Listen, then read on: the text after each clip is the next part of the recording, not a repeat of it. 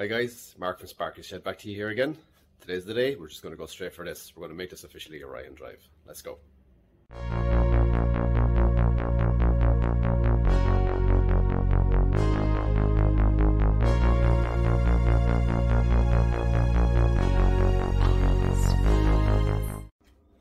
I think this could be a good day. I was expecting this next Thursday. I did not think I was going to get it Saturday morning.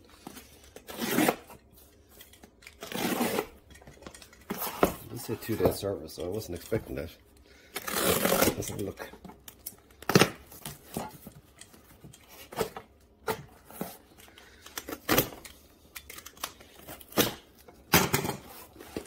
Another YouTuber recommended this company. He was talking about converting his to a Z from left to right hand drive. Thank you, Nick.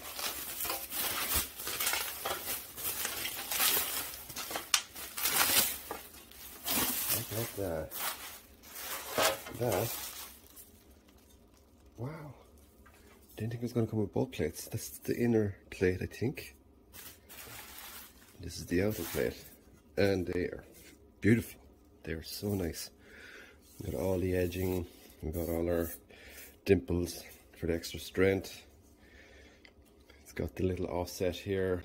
So yeah, I think we're just to mate it up and see how well it matches with everything. And if it's good, we're going to go install them today.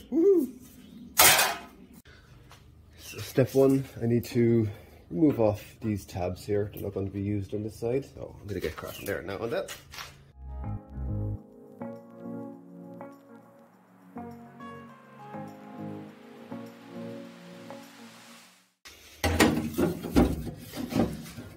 We just need to work out where this goes in here.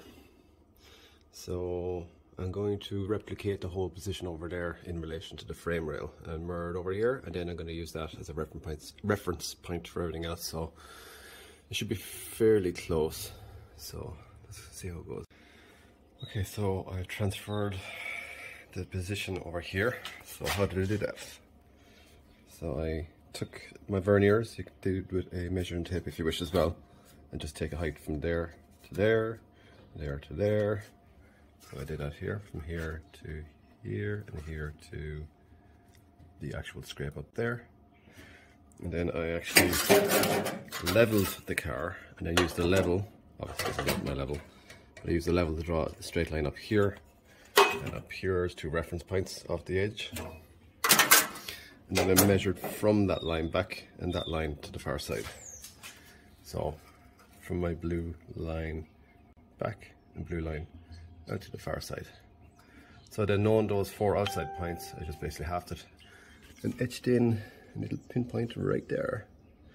And that will be where I can either start trimming, cutting, hope I have a core drill somewhere that'll get a good start at it and uh, start working this out.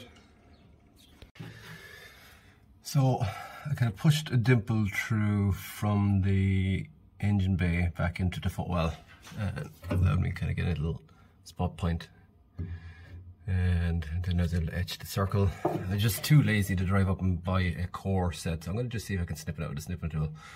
I already have access to this hole here to start with, so I'm just going to give it a shot. Okay, that worked out fairly okay. Now, can see, when I go to put this plate in, that there's a little bit of a height difference. So I'm going to just double check some of my measurements, but probably what's going to happen is I'm just going to be kind of tapping on that corner in there getting a snugger fit in that arch. And that will allow those two holes to line up. I measured the hole anyway, and it is spot on with the location of that one over there, so it's a good starting point. Okay, so I have kind of pressed in that part with this. So I just get the, give this a couple of taps, just uh, coax in this area here. It actually didn't take all that much pressure. So we now have a fairly close match between getting the hole lined up here left, right, top and bottom. And then we'll probably just level this top up here and that will define the location of the other holes. So the only thing I need to do is to figure out what I'm going to do with these ribs. I might try and see if I can just leave them be and just coax them in with something similar to that. We'll see. Maybe have that in the back and just tap it into the front with an ordinary hammer. And I might have to do the same here. Hopefully I won't have to go cutting. Um, that'd be a big relief. Okay, I had to go and press that down a little bit more just to make sure that there was no part of it actually up along here was pressing up this a little bit too high when I had it level at the top. So now that I have that done, I have drawn a line, you can barely see it, all the way around here, just to mark where the edge of it is. So all of that needs to go, and half of these need to go. So I'm just going to see what they're like to tap back. They might want to go at all, we'll see.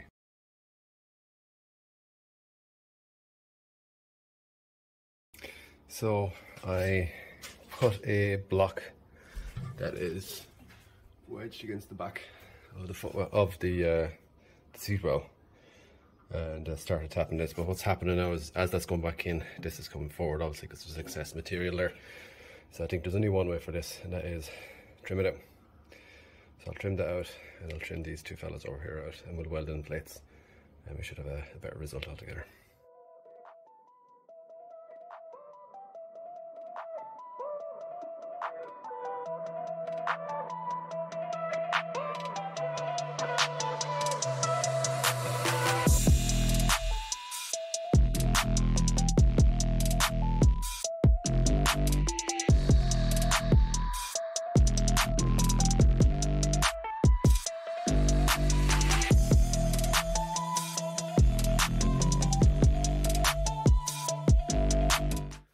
folks, if you like the uh, the detail I go into on uh, projects like this, just give us a little subscribe there. I love doing this, love showing how I do. Um, just give a little like there as well. I'd really appreciate that.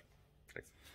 So I managed to use the other two cutouts to cut the shape of these two plates. So now what I'm going to have is these welded in, nice little flat plane for my pedal box plate to uh, mate up against. So I can just tack these from this side and then I might go and weld them from the other side that way. I don't have to worry too much about grinding on this side. And um, might just give it a little weld around here maybe. We'll see how we go. We'll give it a lash. Okay, that's our two panels welded in. Um, only welded in from the inside, as you can see here. Um, not the cleanest of welding I've ever done, but it's definitely solid as hell and fully sealed all the way around. So what I'm going to do now is just polish this whole area up and make it nice and flat. Alright, I'm in the engine bay. This is the old plate. You can see that it kind of does go in quite far there.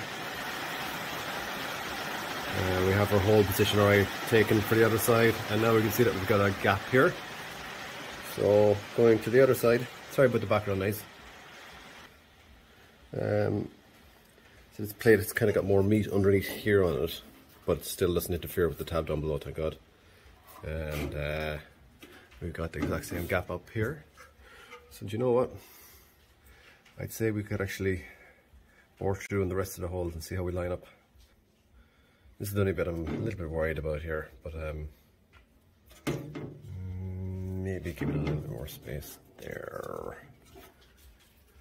Yeah. Nothing wrong with that. Let's go. So our plate is in and I bored into pilot holes. Actually four. One, two, three, four. Just to see how everything was lining up. And you can see it's pretty good. To give me confidence, I decided that I would put in the dash. So, we have our stock in, the steering uh, shaft goes down through. Uh, we can bolt up afterwards because there's a plate going inside. The uh, box, pedal box is bolted in position, line, lining up all four holes. It is centered to the dash. Um, it's a little bit low because it just needs to be bolted up, but the frame is actually a little bit low as well. So here is where the big catch came in. The height of this part of the dash is lower on this side than that side. That side has a recess for the pedal box where this side didn't. It obviously was designed for taking the air box. So for me to get it up and in position, I had to cut a hole out in here. You know what? I kind of want to clean up this area anyway a bit better. I wasn't fully satisfied with that plate the way it went in. So I have an opportunity now. So I'm going to have to raise and replate this here. So it's coming together good. It's way, way slower than I expected, of course, but look, it's nice to have it done and done right. And having the uh, dashboard put in now is kind of giving me the confidence to go ahead and start welding up parts in place because you just don't know. You're just terrified to weld anything securely until you actually get uh, some sort of mock assembly going, going on in there. But yeah, it's looking good. Happy days.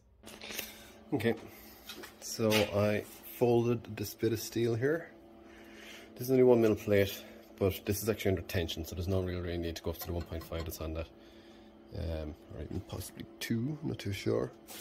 But this is basically, it's just clamped up that way, and we'll have a seam of weld here, a seam of a weld here, and across the top.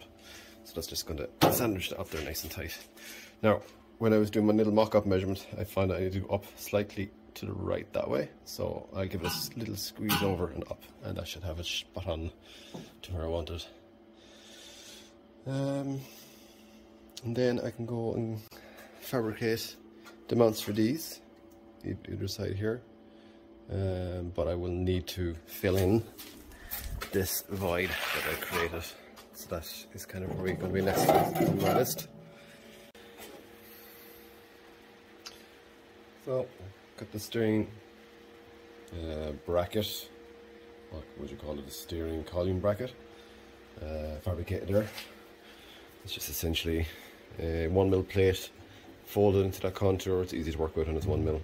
And then a flange then down to the middle of there. I checked it with the uh, the dashboard and there's no interference, there's no issues there with that, so it's kind of a, works perfect. Um, the only flexing that's in it is from the bulkhead itself, so it's perfect for the needs anyway.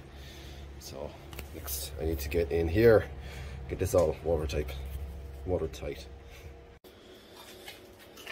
So I've opened it up a little bit more just so I have nice square edges and I've cleaned it all off inside so I can get ready for welding.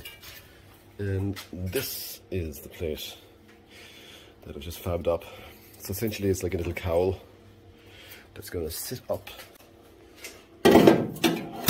in here. And I just have to press it up nice and tight all the way around. And what that will do is allow the uh, pedal box to sit up into this area but I can seal it off now. So I'll probably do the majority of the tacking from underneath and then I'll seal it from the side. It should be golden. So this is our pedal box recess. It's uh, fully fitted and formed in around the whole area. Came out quite well actually. This is it from the other side. So that just allows the pedal box pedal box to protrude up into where uh, the wiper cowl is and we'll just basically seal it and that'll be it. Uh, forgot to close up the weld here as well, one of the uh, spot welds that pulled through before, just give it a couple of tacks and close it off. Quite happy with that now. Alright guys, back at it at last. It's a nice Saturday morning here and um, I got a bit of free time before a rugby match starts so I decided to uh, do a little bit of work. Um, just in the background every few minutes here and there, I'm kind of finishing off doing what I was doing last, which is mounting up these brackets here and here. And I think I had this finalized off the last day. Um, did a little bit more welding just on this down here. I was chatting to a suitably qualified engineer, or suitably qualified, uh, suitably qualified individual. And um, he was advising me that anytime you do any kind of structural welds, to best weld it from inside and out. So we welded them off up here. I've welded it out completely. I couldn't weld it on the back uh, too easily, so I did it on the other side.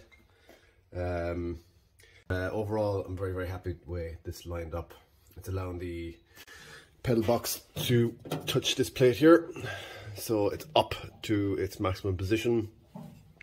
Then it's nice and tight up against these three mounts. So you can see here you got one, two, three, uh, four, five, And then down here around that point there where the pedal box goes through the brakes, 6, 7, 8, 9. Uh, I think that's all as far as I can remember. Oh yeah, 10, 11 then for the clutch plate. So what I'm going to do today is kind of try and finalize, finalize this area, which is essentially plating off this. It's got a nice little weld-through primer on it now at the moment.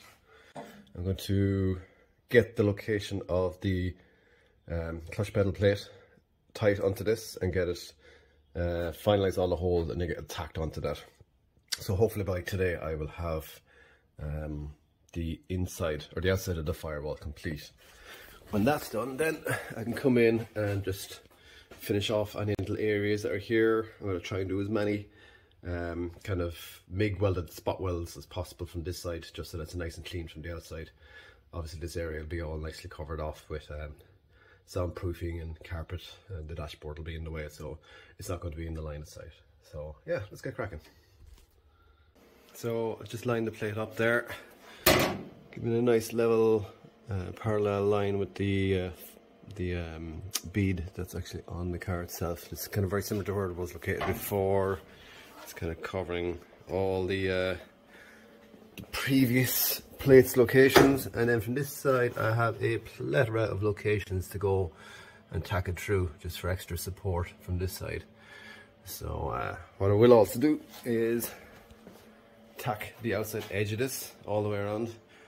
Simple reason I'm doing that is I'm going to seam seal this afterwards so you won't see the tacks and I'll probably do a nice little taped job on this one to make it look good. So we're getting there. We got it tacked in. So we're going to tack every roughly 25 mil around the outside and then for every protrusion through the bulkhead I tacked each of them so you can see where the steering column used to come through where the uh, brake booster used to come through. Some of these are where the um, seam or the spot welds tore their way through it or were a little bit weak so I bored them through and made sure we had good contact. We gave a couple more spot welds at locations where there were gaps down there and then that's where the uh, clutch um, cylinder came through. So that's her well sealed up. From the other side, looks a bit messier, it just needs to be cleaned down, but we got a plethora of tacks the whole way through. So this is not really a removal of the bulkhead, this is just a blanking plate. I get confirmation on this, but as far as I'm concerned, it doesn't need to be welded, it just can be tacked, because basically there was no plate on the far side before, it was just the bulkhead, so this is, if anything, overkill. Alright, let's update before I get too carried away. Um, my plate's in. Um, I went down and I bolted it on in a couple of locations after I confirmed that the uh, the uh, pedal box was in a good position. And then uh, bolted the plate on and then just slowly but surely clamped all the edges around and tacked it all the way. Looks a little bit rough but just remember that will be a sealant over all of that. All the way down especially in there. And then onto the inside.